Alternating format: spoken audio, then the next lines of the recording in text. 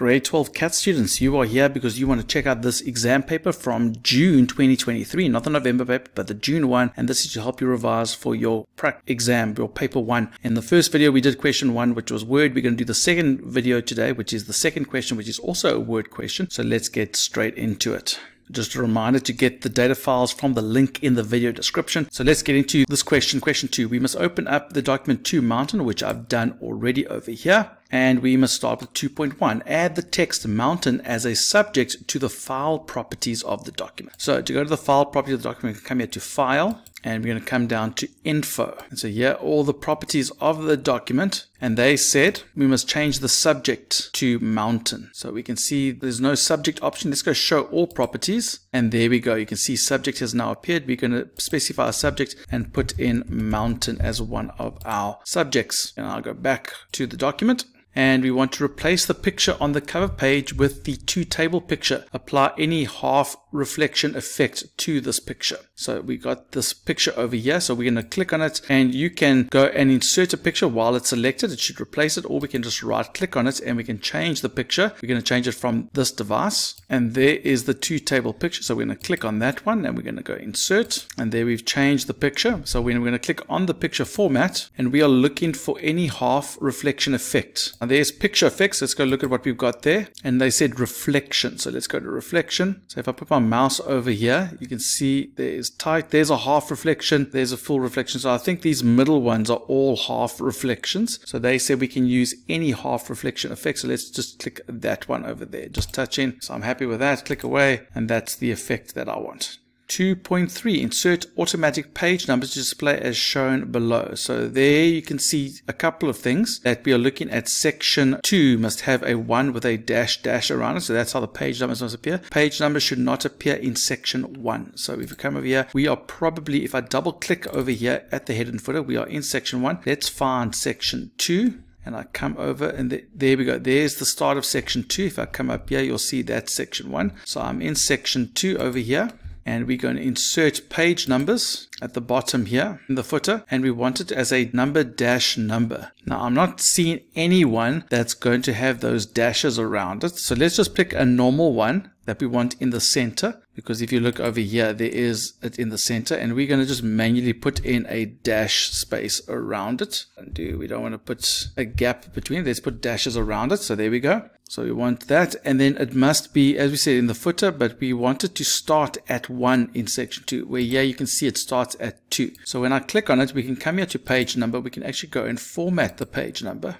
we could have actually used that format. Actually, that would have been a better option. If we used that format, that would have been the one that we were looking for. But we wanted to start at one. If I do that, then I can actually remove my little dashes that I had there. So that's actually probably what they wanted, but you saw how you could have modified it yourself. So there we go. So now it starts at one in section two, and there we go. That is the footer. Let's click away and we can scroll down. Now it goes to 2 and so on. So there we go. And let's just confirm that there's nothing in section 1 so we come over here oh there is a page number here in section 1 so what we need to do is when we come over here to this is we must not link to previous. So when I click away and come over here, we can actually get rid of that one over there. Because we undid the link, that one will still be there. To recap, we went over here, we unlinked it to the previous, and then we removed the one that was in front. You'll see there's no more page numbers in the first section. That was quite tricky there. Then 2.4, insert a table of contents using the distinctive format below the heading question 2.4 to appear as follows. So let's first go find 2.4.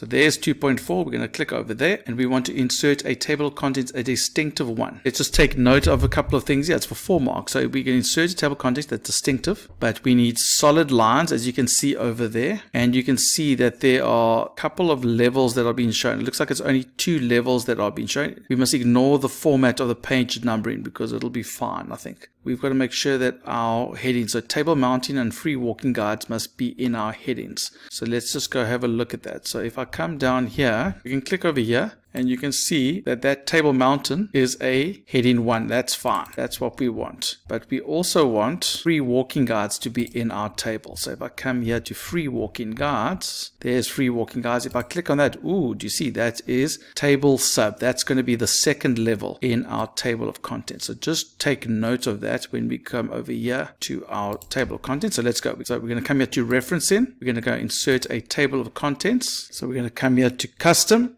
and we said we want a distinctive one so we're going to click on distinctive. We definitely wanted that solid leader line so the solid one is what we want. And we wanted only two levels. So if I come here to options this is double check. So heading one is a level heading two let's go check if that table sub is on our level. No we want that to be a level two as well. So we're going to click OK and let's go click OK and there we go. Does it look like what we want? So we've definitely got the lines. We've definitely got hiking and free walking guides. So there we go I, I think that is correct. So let's move on to 2.5. Find the text 2.5 below the heading Table Mountain and replace the text with a cross-reference to the bookmark Cableway. Display the page number only. So we're making a cross-reference to the Cableway bookmark and only showing the page number. Let's go to 2.5. There it is. And we are replacing this text. So we're going to select it and we're going to go to references to a cross-reference. So we're going to click on cross-reference and we want to go not to a numbered item, but we want to go to a bookmark and we want to go to the cableway bookmark. So click on that and the reference must be the page number only. So that's why we're only clicking the page number. So we're going to click insert, close, and there we go. It's inserted the cross reference over there.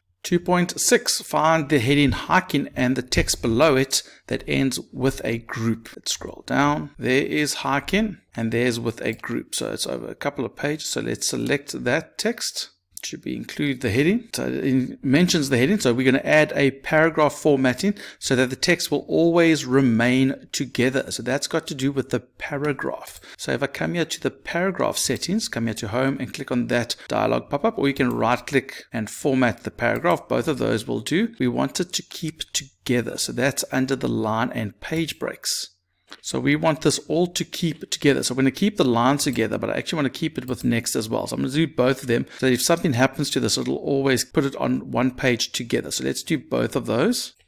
And you'll see that it moved that part to a new page because this stuff must always be together. So that was to always make sure that it'll always remain together. So I did the keep with next and keep lines together. 2.7, find the numbered list below the heading facts. Here we go. Here's our heading and we want to use a multi-level list so that the table list appears as shown in the option list styles. And then we must change the table list style so that the number style of the second level must be that symbol, which is 77 or Webdings. So they remind us that we can hover over the list styles to see the names of the styles. So we want to first change the numbered list to a multi-level list of table list. So let's select all of this text first of all. I think it goes up until there.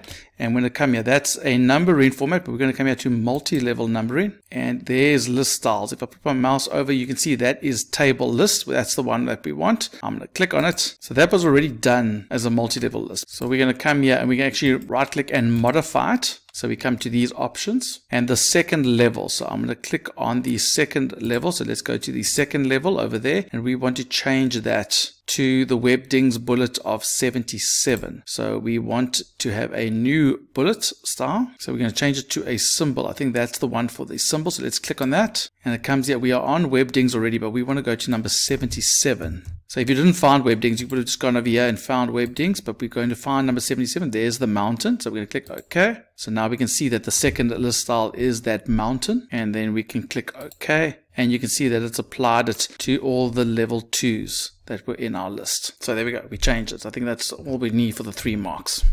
Next, 2.8, find the picture below the heading access and make the following changes. So let's go find the picture below access. There's access. There's our picture. They want us to format the picture to that of a Bending Picture Blocks Smart Art graphic. So let's come here and click on picture format and we want to change the layout. So here's one of the smart arts in that. And we're looking for the bending picture blocks. If I go through all of them, eventually let's try that one. So there we go. Bending picture blocks. That's the one that we want. So I'm going to click on that one.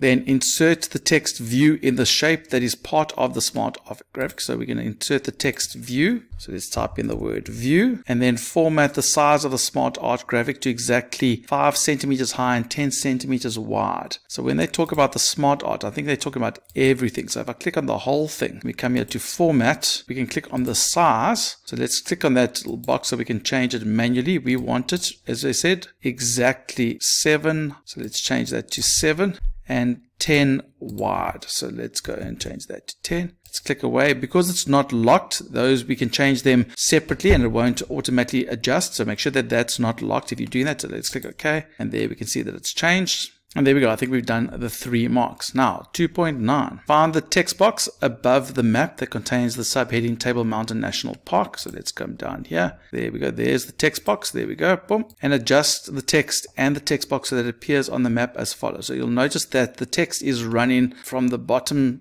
up it's on its side so it's rotated and we can see all of the text table mountain national park so we're going to drag that down a bit and we want table mountain on the top and then national park map on the bottom. So I'm going to go here and put an enter there so that Table Mountain is the top and the National Park Road is by itself and we want to make sure that that text is rotated. So we're going to click on the format of the shape and I want to come here and rotate it to the Beyonce, I mean to the left like that. So when I click on it, it's going to go back to normal because it's selected. But if I click away, you can see it goes back to its original shape. But then I'm going to drag it down and I must go somewhere over there. I think I can actually make it a bit smaller if we need to, just to make sure that it fits on the map nicely like that. I'll do that. So does it look like that? You can probably move it in a bit more, but there we go. It's been rotated and adjusted. I think those will be the two marks. So let's save the document. They say save and close it.